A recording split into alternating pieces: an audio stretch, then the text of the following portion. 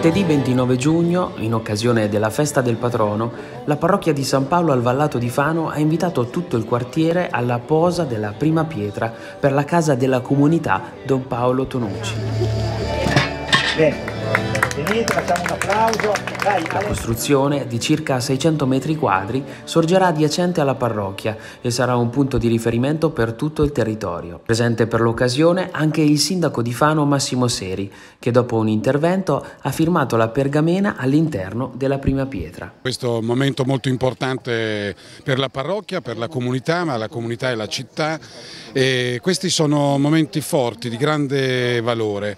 La casa della comunità, la casa un significato profondo che coinvolge tutti, la casa è il luogo dove abbiamo gli affetti, dove troviamo rifugio, dove ci rilassiamo, dove riflettiamo, dove stiamo con le persone care. Allora una casa della comunità è una casa dove ognuno si sente a casa propria e come ho avuto modo di dire può essere la seconda casa per tanti, ma per alcuni può essere anche la prima casa, perché significa che in questo luogo, eh, questo spazio collettivo, ognuno si sente a casa propria, sa che trova sempre qualcuno che lo ascolta e lo considera una persona importante. Questo è il valore più grande, il valore di una comunità. Dopo la messa all'aperto, presieduta dal vescovo, si sono susseguite testimonianze da parte di chi ha conosciuto Don Paolo per spiegare al meglio la figura a cui verrà intitolata la nuova costruzione. Trasarti ha fortemente sostenuto il progetto già da tempo ed ha il pieno sostegno insieme a tutta la diocesi. L'attenzione al territorio mi ha portato qui a sentire anni fa il bisogno,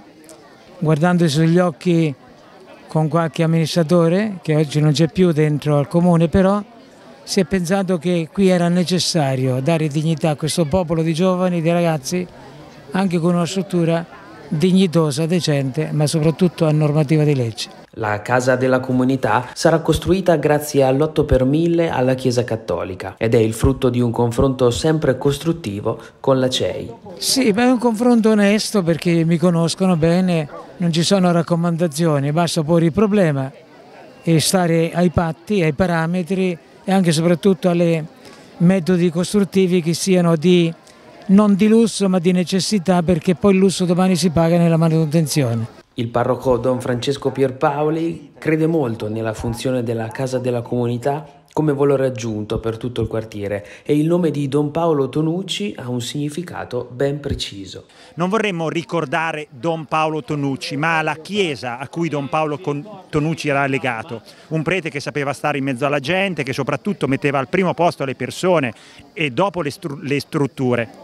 Quindi vorremmo che veramente la casa della comunità fosse una casa accogliente, la casa di tutti e specie di quelli che fanno più fatica a ritrovarsi, a vivere. Credo che in questo territorio ci serve proprio anche uno spazio bello, perché la bellezza alla fine aiuta anche a educarsi, a crescere e a, e a, maturare i sogni della propria vita. Allora Don Paolo Tonucci è un prete che è riuscito a partire per lui, per andare incontro ai poveri in Bertasile, per andare a sostenere chi aveva diritto alla terra e non l'aveva. Allora noi dovremmo fare magari anche pochi metri, ma anche qui a Fano abbiamo situazioni di questo genere e la comunità cristiana non può solo preoccuparsi di fare il catechismo o di fare le prime comunioni, se poi questa Eucaristia non la condivide e non la partecipa in senso di giustizia e nella ricerca della pace. Quindi Don Paolo Tonucci per noi è questa immagine di chiesa casa accogliente.